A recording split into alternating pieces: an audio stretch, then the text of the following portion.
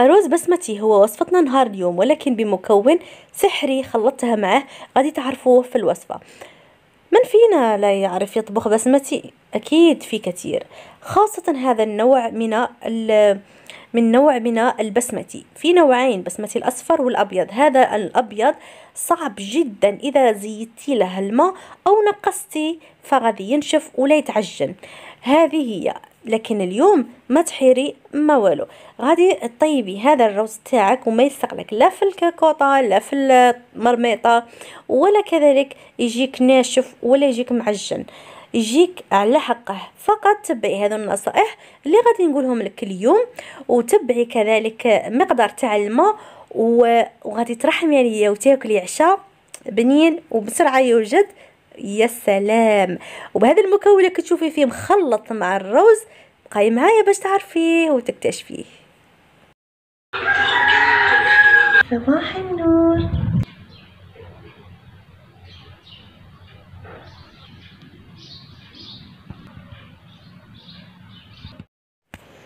أرز بسمتي الأبيض الناعم والحساس.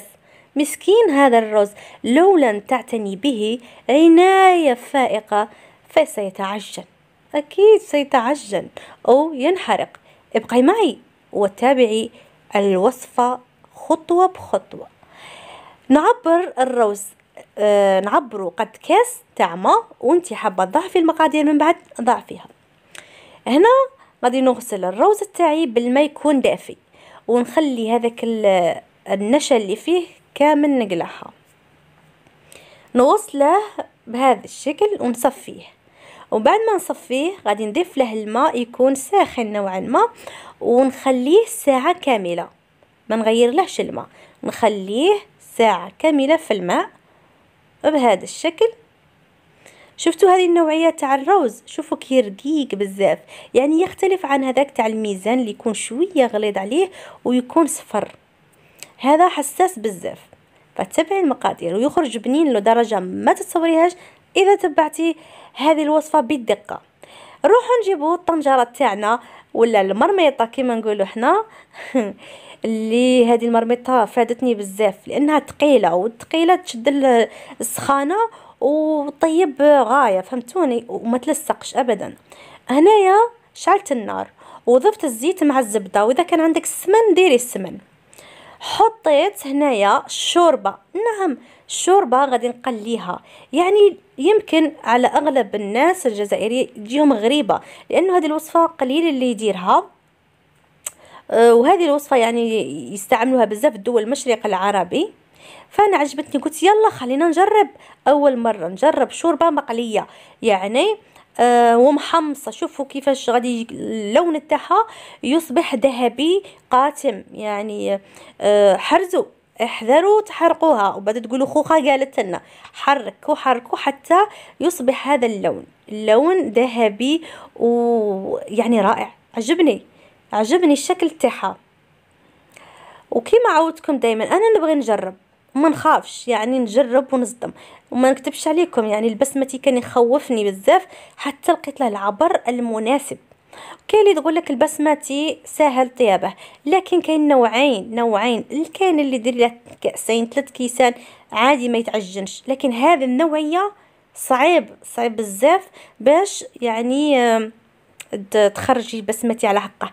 لذلك قلت لك تبعي الفيديو وضغطي على زر لايك وإذا كنتي أول مرة تشاهدي الفيديو اشتركي. وأهم شيء إنك تفعلي الجرس الجرس الفوقاني اللي فيه زوج خطوطة. هذا مهم جدا لكي يصلك كل إشعاراتي وفيديوهاتي. هنا بعد مرور ساعة كاملة صفيت هذاك الأرز من الماء وحطيته على المقلاة مع هذا الشوربة.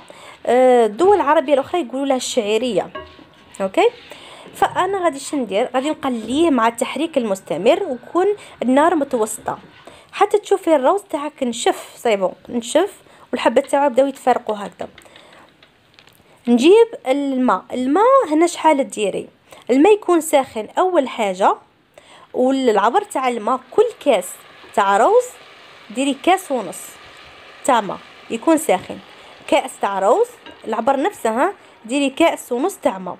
وهنا ضفت كأسين تاع الماء علاه لأنه الشعيريه كذلك خصها الماء وكل يعني أنا درت المقدار تاع الشعيريه اللي هي شوربة. نصف كأس ضفت نصف كأس من الماء الساخن كذلك تاع الشعيريه والكأس ونص تاع الرز فهمتوني؟ وغادي نخلي لكم كذلك بالضبط الوصفة في صندوق الوصف. هنايا شدرت. نخلي الوصفة تاعنا تاع الروز والشعيرية نقسلها حدها يعني على النار جد جد هادئة كأنك بدي باغية تطفيه. وخليها خليها لمدة عشرين دقيقة وغطي عليها وخليها ما تفتحيهاش أبدا. غادي في أول مرة غادي تشوفيه نشف نشف كاع وخليه ما تحليش عليه. خليه عشرين دقيقة.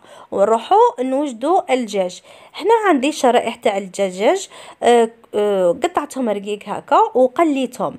قليتهم بعد ما قليتهم بالملح وخرتهم على جنب ونجيب هنايا الزبدة وشوية زيت في المقلاة ونحط كاس تاع حليب. وبالمناسبة الأرز هذاك درته sachet تاع جومبو. جومبو زدت مع الماء في الروز okay؟ وهنايا غادي نضيف كاس كذلك تاع ماء ودرت فيه جومبو. ونضيف هنا كذلك ملعقة تاع آه، فرينه اللي هي الدقيق الأبيض نحرك جيدا جيدا جيدا.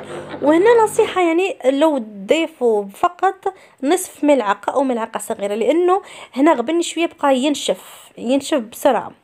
وهنا نضيفوا ملعقة صغيرة من الطماطم مصبره وإذا كان عندك يعني البصل بصل تقلي تقطعيه إلى شرائح رقيقة وتقليه هو الأول مع الطماطم بعدها تضيفي له الحليب والماء اللي فيه جامبو. أما أنا ما بغيتش نضيف البصل قلت نديره بودرة يعني هذا البصل غبرة. غادي نضيف قليل من الثوم غبرة والبصل غبرة. بهذا الشكل ونحرك جيدا ومن بعد كي نضيف شوية فلفل أسود. هذه هي التوابل اللي حطيتها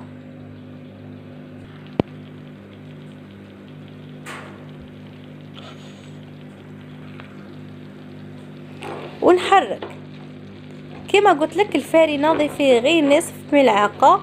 ما ديريش ملعقة كما درت أنا لأنه نشف لي وإذا صرا ونشف لك ضيفي له نصف كاس تاع حليب وزيدي حركي مليح مليح ونقصي للنار من بعد شنضيف نضيف له الدجاج تاعي. لكن هذه الصلصة تجي ذوقها رائع بزاف مع الروز.